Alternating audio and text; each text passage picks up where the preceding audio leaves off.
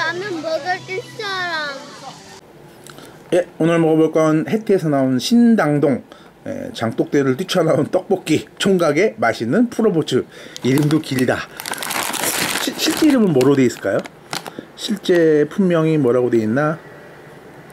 품명은 따로 안 써 있네요 보통 품명이 써 있어 돼 있는데 설마 이게 이름이 다는 아니겠죠? 신당동 장독대를 뛰쳐나온 아니 원조 신당동 장독대를 뛰쳐나온 떡볶이 총각의 맛있는 프로포즈 아 이거 그 장난감 가게 장난감 가게란다.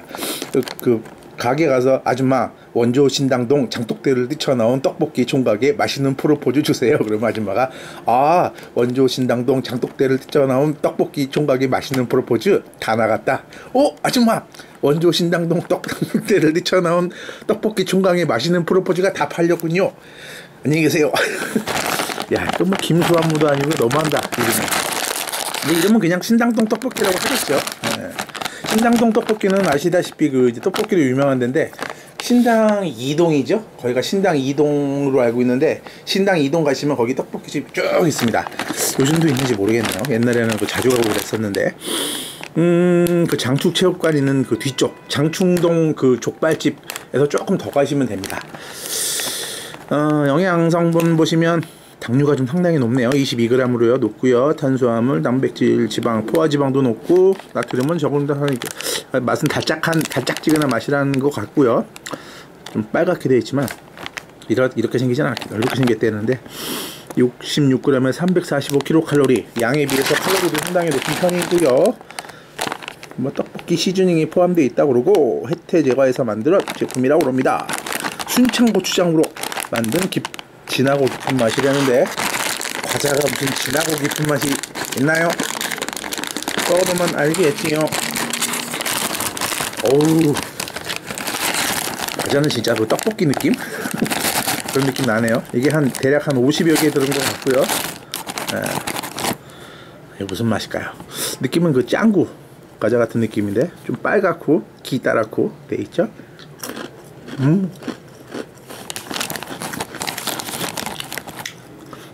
역시나 그 짱구의 바삭함 그걸 좀 길게 느낀 거고요. 매운맛이 살짝 납니다. 살짝 나는데 살짝만 나고 조금 살짝해서 조금 더 나기도 하는데 그렇게 맵다는 생각은 살짝 나긴 나는 정도 그거고 전체적으로 다네요. 네. 아까 보셨듯이 당류가 높고 나트륨이 약기 때문에 네.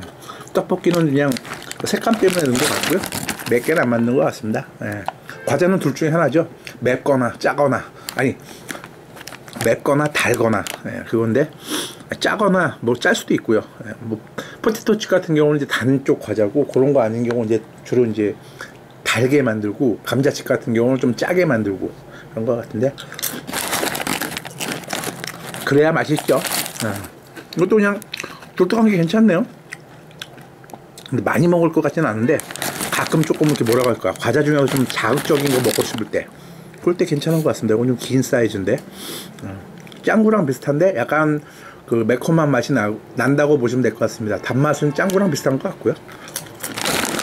어.